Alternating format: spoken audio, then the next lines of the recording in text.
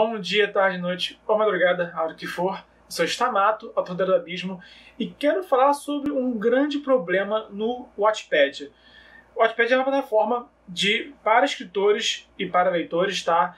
que é uma plataforma muito válida para todos os escritores simplesmente publicarem, tá? Não acho que é uma plataforma que se limite a um começo de carreira ou qualquer coisa do tipo. Eu acho que é uma, que é uma plataforma, assim, essencialmente válida, tá? Para contar histórias e para ler histórias. Mas como tudo na vida, nada é perfeito, tá? Então, mas tem um problema que eu tô vendo muito grave e eu quero falar desse problema específico. Se você já usa o Wattpad, você tem que ficar atento a esse problema. Se você está pensando em usar o Wattpad ou não, você tem que ficar atento a esse problema. Então, não estou dizendo aqui que o Wattpad é ruim, que o Wattpad é furada, que você não deveria publicar no Wattpad. Não estou dizendo nada disso, tá? Inclusive, tem aqui no canal um vídeo sobre leitores beta, né? E no começo de carreira, um bom lugar para conseguir leitores beta é o Wattpad, por exemplo. Então, só nisso já é muito útil o Wattpad. O fato de você conseguir ter um feedback do público de pessoas que não te conhecem, pessoas que nunca ouviram falar de você, não são seus amigos que vão te dar tapinha nos ombros, né?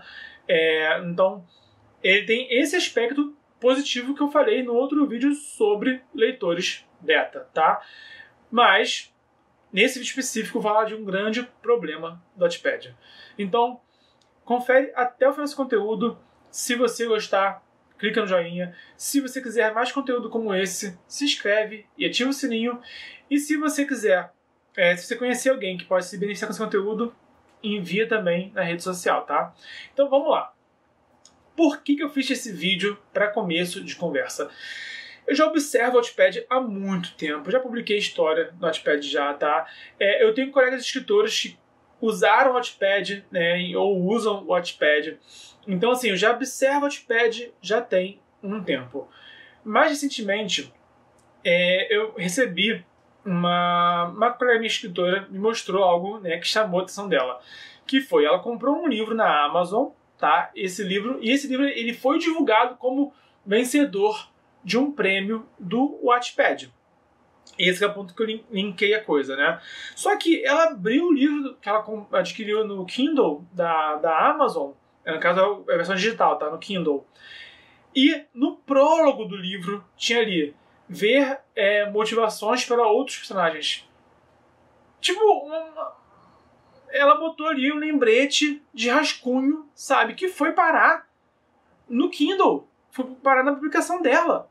Que ela tinha que ter escolhido em algum momento. E, sabe, como que ela cometeu esse erro? Né? Ela possivelmente não. Ela, com certeza ela tinha que ter revisado o livro. E aquilo tinha que ter sido excluído em alguma revisão, tá? E é um livro sendo divulgado como vencedor de um prêmio Lattes 2017, algo do tipo. Então, quer dizer, esse livro foi premiado pelo Wattpad. E mesmo assim foi publicado depois no Kindle com um erro brutal na primeira linha do livro, no começo do livro, tá?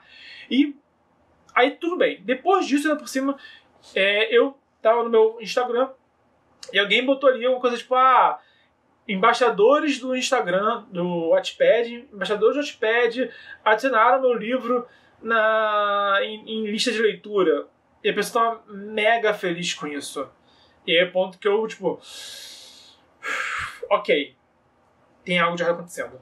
Tá? Então, e aí eu comecei assim: deixa eu entender o que, que está acontecendo de errado, tá? E aí, bom, já que eu tô pensando nesse assunto, vou fazer um vídeo sobre né? E não vou guardar só para mim, porque eu, eu, não, eu acho que é muito errado eu ver pessoas indo em direção à furada sem alertar a elas. Tipo, cara, eu vou dirigir para tal bairro, né? Qual estrada que eu pego, meu querido?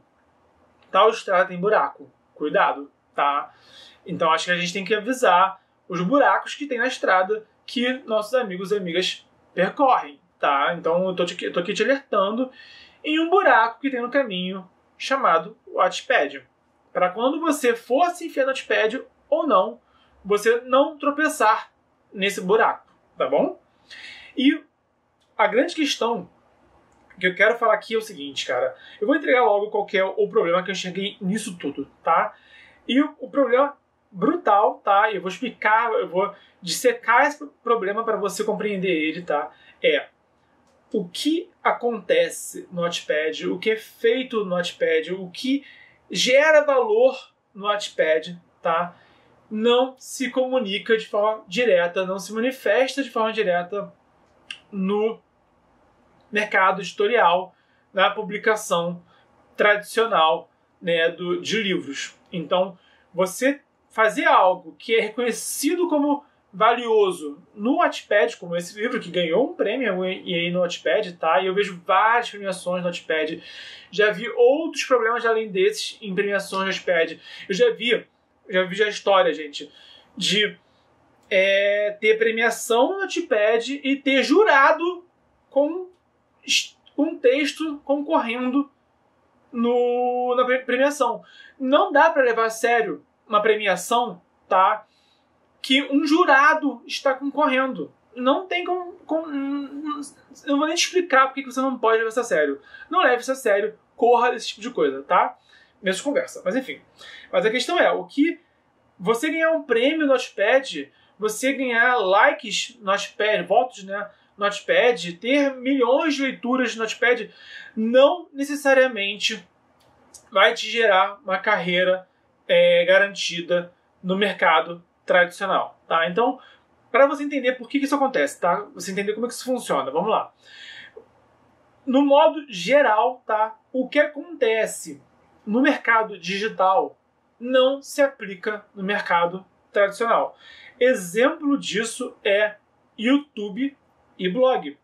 Muitos youtubers se lançaram na plataforma YouTube na esperança de se tornarem, de se tornarem atores tradicionais. Né? Maiores exemplos disso no Brasil são Felipe Neto e Kéfera. O Felipe Neto ele queria ser ator, ele queria ir pro Projac, ele conta isso. Hoje em dia, ele já faz, ele fez do YouTube a carreira dele, né? E o cara tá podre de rico com o YouTube. Por outro lado, a Kéfera, ela fez vários filmes, tá? Ela é, era atriz de teatro já. Ela realmente conseguiu aí alavancar a carreira dela como atriz, começando pelo YouTube. Mas o que ficou nítido nesses dois casos, tá? É que o sucesso que eles faziam em um não era automaticamente transmutado em sucesso em outra plataforma. Outro exemplo disso é, são os blogs. Os blogs têm uma função jornalística. Quer dizer que você ter um blog, quer dizer que você vai ser contratado por um jornal e vai trabalhar no jornal? Não, né? Voltando ao YouTube, Anderson Gaveta, um dos maiores youtubers do Brasil. O que ele faz no YouTube não tem nada a ver do que é feito na televisão. E ele presta serviços, de vez em quando, para a televisão. Mas a comunicação não é direta, tá? Nunca é. Esse é um ponto, assim, que é básico aqui nesse debate, tá? É, então, eu, o que isso tem a ver com o Wattpad?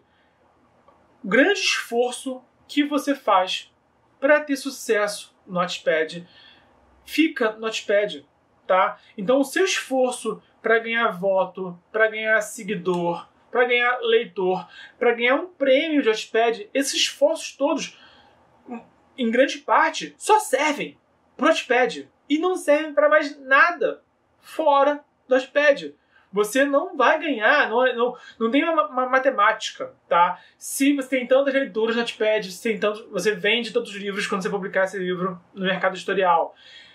Tipo, o que, que importa? É um livro com mais voto? Com mais leitura? O que, que importa? Um livro com mais prêmios, talvez? Sabe? E, sinceramente, não há garantia nenhuma. Não tem como a gente fazer um cálculo para garantir. Você pode muito bem ter um livro de sucesso no Notepad que vai ter zero leitores no mercado tradicional. Quer dizer que, que não serve de nada? Não, também não. Tá? Tem muitos leitores que começam a ler Notepad e depois compram o livro físico. Tem muitos escritores que se lançaram assim. Taro é o maior exemplo, na minha opinião, tá? É o maior exemplo assim, do mundo. O livro do Mataro foi publicado no Watchpad, tá? E foi best-seller mundial instantâneo, porque era viral no Notepad. Ótimo, bacana. Só que tem que lembrar, o, Taramataro, ele é inglês, mercado europeu é o outro, tá bom? Ele, o livro dele foi lançado no Notepad tem já alguns anos, o mercado vai todo o mercado vai se atualizando. O YouTube de hoje não é o YouTube de 5 anos atrás, tá? Os blogs de hoje não são os blogs de 5 anos atrás. Tudo vai se atualizando. Então o sucesso no Notepad de antes não necessariamente é sucesso hoje em dia. Então, essencialmente, os seus esforços para o Wattpad não é que eles sejam inválidos, é que eles têm, eles funcionam no Wattpad, tá? Outro ponto é, se que você quer é lançar livro no mercado editorial, tá? Seja como autor independente, como um autor de editora, tá? Você vê o seguinte, as pessoas que estão te dando aprovação, que estão organizando premiações em Wattpad, estão dando voto em Wattpad, essas pessoas muitas vezes não estão inseridas no mercado editorial e não entendem de mercado editorial. Então, a partir do momento que uma pessoa que ela não tem vivência em mercado editorial, que ela não tem experiência prática no mercado editorial, ela olhar um livro no Notepad e dar um prêmio, uma medalha de ouro virtual no Notepad, esse, essa premiação tem valor no Notepad, tá? Não tem valor fora do Notepad. O valor fora do Notepad é construído de outra forma, ok? Esse é um ponto. O outro ponto também é que o que também complica muito o Notepad é, eu vou falar sobre mais detalhes futuramente, vou fazer um vídeo só sobre o Notepad, tá? É, sobre modo mais abrangente. Mas é, é o seguinte, o YouTube, ele monetiza. E no YouTube você pode fazer ali um você pode é, você ganha aí uns centavinhos, tá? Você ganha umas moedinhas no YouTube, tá? É, então isso te ajuda a produzir conteúdo no YouTube. E também você pode fazer um vídeo patrocinado no YouTube. Só de você estar usando uma blusa diferente no YouTube, você pode ser pago, tá? No Notepad não. No Notepad você não, você não vai, tipo, ah, gente, começando aqui um capítulo do meu livro novo e, ah, fazer uma propaganda de um livro de uma editora, compre um livro dessa editora. Isso não é feito. Eu acho que não funcionaria, tá? Eu acho que é mega injusto, porque o Watchpad ele tem é, publicidade. Você está lá lendo, está scrollando o, o, texto no Notepad e passa ali uma publicidade. No, na barra lateral está ali uma publicidade. Então, o Wattpad está monetizando e não está dando dinheiro para os escritores, né? Eu acho isso justo. Mas a questão é, você. Isso poderiam ter escritores que ganham dinheiro no Wattpad e ficam pelo Wattpad mesmo, independente de livro tradicional. Poderia, se o Wattpad pagasse de algo similar ao que o YouTube paga. Não é feito. Isso é mais um problema para você, tá? Lembre-se disso. Mas falando especificamente do mercado editorial, tá? É, o mercado editorial te exige outros esforços que não tem nada a ver com o Wattpad. No momento em que você vai publicar no mercado editorial, tá? Você tem que pensar na sua capa de uma forma um pouco diferente do que você pensaria na capa do Notepad. O Notepad também tem capa, obviamente. Mas às vezes a capa que funciona no Notepad, ela não funciona no livro, num livro tradicional, tá? Então você tem que... É um esforço diferente, isso que dizer, não é que você não tem esforço no Notepad, você tem é diferente. A diagramação é outro ponto que no Notepad funciona de um jeito, um livro tradicional funciona de outro. A forma de conseguir novos leitores, de novo, é diferente para livro físico, até livro no Kindle, né? Até falando de livro digital, você publicando seu livro na plataforma do Kindle é diferente do que publicando na, no Wattpad e é diferente publicando no mercado editorial. É, no mercado editorial físico que eu tô falando, tá? Então, o que eu quero dizer é o seguinte: o problema maior aqui é o Wattpad te exige muito esforço que você não pode confundir, não pode ter esperança achando que ele vai se transmutar de forma simples para algum tipo de sucesso substancial no mercado editorial, tá? Esse é um problema muito grave que eu fiquei atento a ele recentemente. Então, no caso, né, acho que o ponto maior né, de motivação foi esse livro, que ele, tem, ele foi premiado não só no Notepad, eu não vou falar o outro prêmio porque envolve um escritor que eu respeito, então acho que não tem que ficar falando de premiações de outros escritores, tá? Mas, enfim. Prêmio, na verdade, na verdade, nem o prêmio de Abuti é transmutado em muitos leitores, em muitos vendidos, tá? Então, premiação é outro debate. Eu tenho aqui um vídeo no canal sobre premiações, caso você queira conferir também, tá? Mas é outra história. No modo geral, tá? É, você tem que saber o que você quer, Tá? Você quer o quê? Você quer ter leitores? Lindo, ótimo. Então, a questão é, você quer ter leitores em qual publicação? Você quer ter leitores Notepad? Quer ter leitores no Kindle? Quer ter leitores com livro físico? Cada formato vai te exigir esforços diferentes. É isso que você tem que ficar atento. O Wattpad é bom, o Wattpad é ruim? O Wattpad tem prós e contras que você tem que decidir se vale a pena para você ou não, tá? Enfim, e esse é um dos grandes problemas da atualidade. Eu fiz esse vídeo porque eu vi um livro que foi publicado no Kindle e ele foi premiado no Wattpad e também foi premiado em algum outro concurso aí.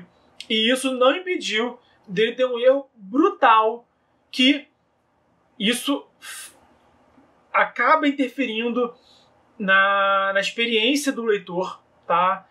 Na versão do Kindle, tá? Então, não é porque o livro foi premiado que foi publicado no Kindle e isso foi isso quis dizer um, um livro que eu sinceramente, se eu lisse isso, eu iria lá e daria uma estrela no livro, tá? Sinceramente, é o que eu faria. É assim, só porque, pô, enfim, né? É, então pense nisso, tá? A pessoa, seu, você, ah, só para finalizar, tá? É outra coisa interessante. Você não tem dislike no Watchpad. Isso é interessante. Agora que eu me toquei disso. Você não tem dislike no Watchpad. E aí você pode medir, tá? Meu livro tem tantas milhares, milhões de leituras. Meu livro tem tantos milhões e milhares de votos no Notepad. No Kindle e no, na Amazon, você tem estrelas. Você tem de uma a cinco estrelas. Né? Isso é uma coisa curiosa. Os meus livros, ele tem uma quantidade diferente de estrelas no no Scooby, que é outra plataforma, e na Amazon. Isso já mostra assim, diferenciais do, do público, de tudo, sabe? Então, você pode ter um livro com muitos votos, e muitas leituras Notepad, mas tem um livro, no fim das contas, e até mesmo premiado ali, que está arriscado a ser mal avaliado no Kindle. Então, isso quer dizer que um é melhor que o outro? Isso quer dizer que cada um deles é diferente. Lembre-se disso na hora de escolher a forma como você vai contar e divulgar e publicar a sua história. Por hoje é isso. Se você gostou do conteúdo, dá o like, se inscreve, ativa o sininho, compartilha na rede social e comenta também é, qual é a sua plataforma favorita, em que plataforma você quer ser reconhecido como um escritor ou escritora, em que plataforma você quer ter fãs, no fim das contas, né? Você quer ser lido, quer ser lembrado em qual plataforma? Comenta aqui embaixo, tá? Estão no desafio 366 dias de escrita é vídeos de mercado editorial, como esse, de escrita criativa e também de cultura pop, todo dia de 2020. Então, até amanhã.